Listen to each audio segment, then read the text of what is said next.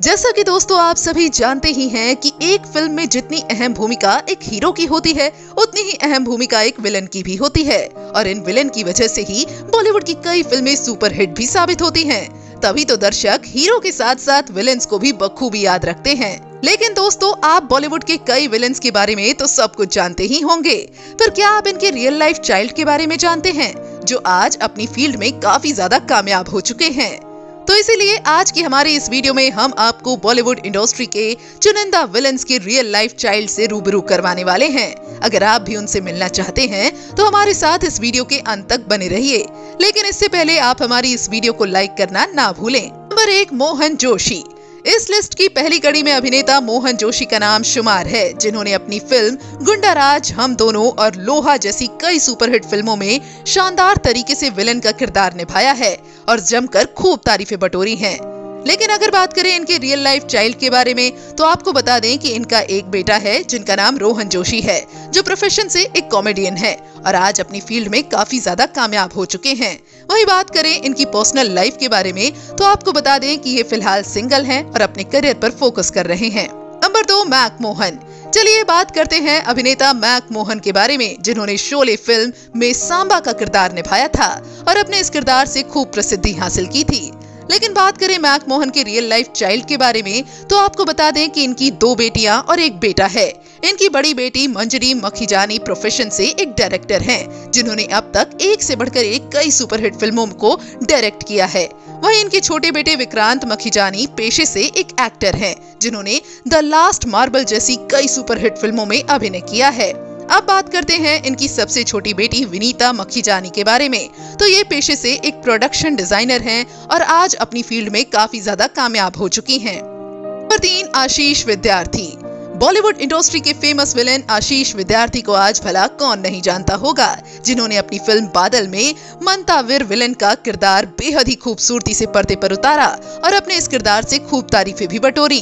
लेकिन अगर बात करें इनके रियल लाइफ चाइल्ड के बारे में तो इनका एक बेटा है जिनका नाम अर्थ विद्यार्थी है, जो फ़िलहाल अपनी पढ़ाई पर फोकस कर रहे हैं और ये भी बड़े होकर अपने पापा की तरह ही फ़ेमस स्टार बनना चाहते हैं।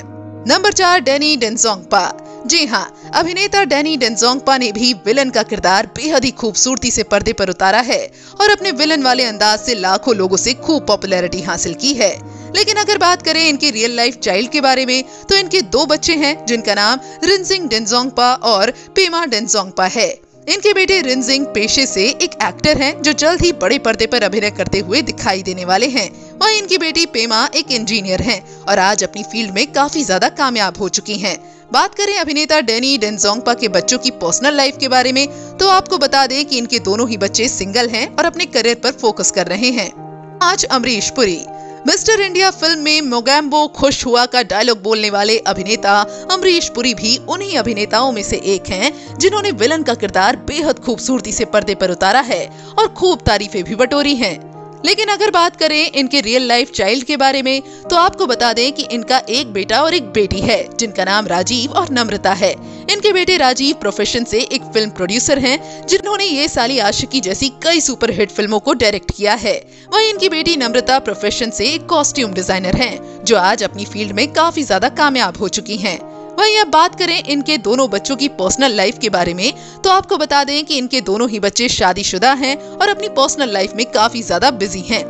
रजा मुराद इस लिस्ट की आखिरी कड़ी में अभिनेता रजा मुराद का नाम शुमार है, जो नमक हराम और जोधा अकबर जैसी कई सुपरहिट फ़िल्मों में विलन का किरदार काफ़ी अच्छे से निभाते हुए नज़र आए थे लेकिन अगर बात करें इनके रियल लाइफ चाइल्ड के बारे में तो आपको बता दें कि इनके दो बच्चे हैं, जिनका नाम आयशा और अली मुराद है। इनकी बेटी आयशा मुराद पेशे से एक मेकअप आर्टिस्ट हैं, जो आज अपनी फ़ील्ड में काफ़ी ज़्यादा कामयाब हो चुकी हैं। तो वहीं इनके बेटे अली प्रोफेशन से एक बिजनेसमैन हैं, जो आज अपनी फ़ील्ड में कामयाबी की ऊंचाइयों को छूते हुए नज़र आ रहे हैं। वही बात करें इनकी पर्सनल लाइफ के बारे में तो बता दें कि इनके दोनों ही बच्चे शादीशुदा हैं और अपनी फैमिली के साथ खुशहाल ज़िंदगी बिता रहे हैं। तो दोस्तों, आपको इन चुनिंदा विलन में से किस विलन का किरदार ज़्यादा पसंद आया था आप हमें कमेंट बॉक्स में कमेंट करके ज़रूर बताएँ। साथ ही बॉलीवुड इंडस्ट्री से जुड़ी ऐसी ही मज़ेदार खबरों को जानने के लिए आप हमारे चैनल को सब्सक्राइब करना ना भूलें